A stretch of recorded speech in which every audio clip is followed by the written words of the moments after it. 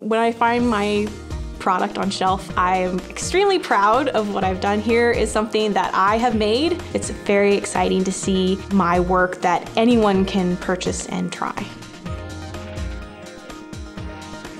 My name is Martha Hunt and I am an associate product developer at Kellogg's and I work on Pop-Tarts. My mother actually baked bread almost every day. I loved eating her food and then as I got older I started learning a little bit more of how to, you know, cook recipes. High school and college is where I really started to get into like baking things myself and sharing them with friends and really into the food piece of it.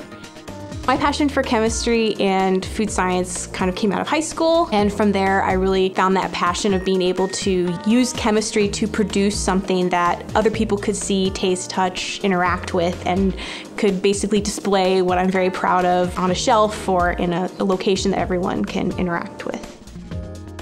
Part of the process that, that I really enjoy is, of course, ideation all the way through production. So the fun part about that is you get to be really creative and integrate any sort of creative ideas you have. A lot of it's brainstorming and figure out exactly what type of flavor, what type of product, what does the food look like, what should it taste like. One of the things you do is you start making prototypes in the lab and then you can taste it, you can feel it. It's one of those things that's very tangible by the time you finish your prototyping. Part of my job now and what I learned to do was how do you scale up? How do you go from something like a kitchen kitchen setting all the way to a full, full steam ahead production facility, and then generating that food all the way to see on shelf.